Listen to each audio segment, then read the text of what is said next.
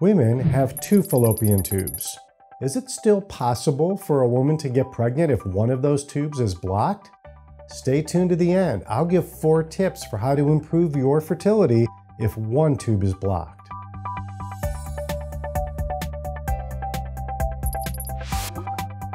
To get pregnant, the following things need to happen. A woman must mature and then release an egg from the ovary. This is known as ovulation. The egg must then be captured by the fimbria or fingers at the end of the fallopian tube. She must be exposed to sperm close to the time of ovulation, and the sperm must make their way into the fallopian tube to fertilize the egg. Finally, the embryo must move down the fallopian tube and into the uterus to implant. If a woman does not have fallopian tubes, or if both fallopian tubes are blocked, then it is impossible for her to get pregnant without either opening the tubes or using IVF. If a woman has one blocked tube and one open tube, then it is possible for her to get pregnant. But it might not be as easy as having two open tubes. It has to do with how easy it is for the egg to get into the fallopian tube where fertilization occurs.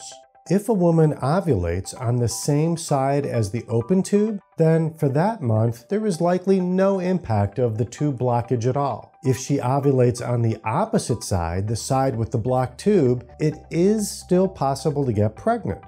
How do we know this? There are documented cases in which a woman with only one ovary and one fallopian tube on the opposite side have been able to get pregnant.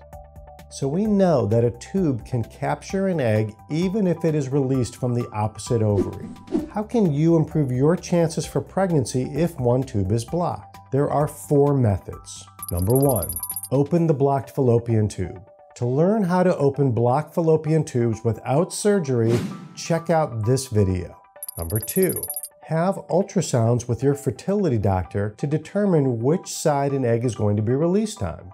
An ovulation predictor test will tell you when you're going to ovulate, but not which side.